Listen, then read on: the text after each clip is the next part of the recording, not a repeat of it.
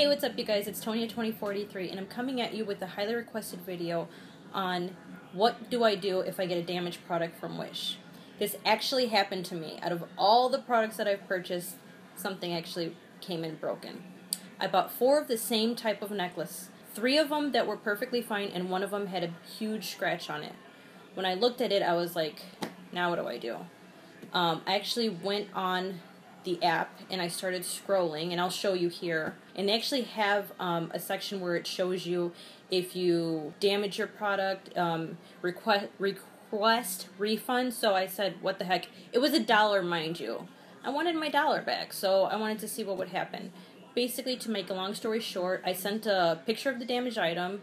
I told them my experience. I told them that I've uh, purchased items there before, and lo and behold, they actually um, gave me my money back, apologized.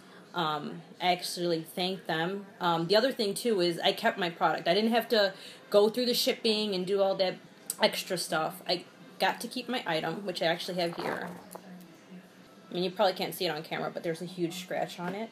This particular seller was able to do that. There's so many sellers on Wish, you don't know who's who's going to do that, who's not going to do that. I had a great experience with this one, so I'm going to continue. Um, that seller was Growth of Foreign Trade Company.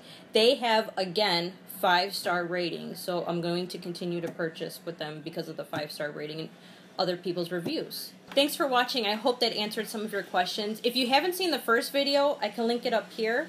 And thanks again. Bye.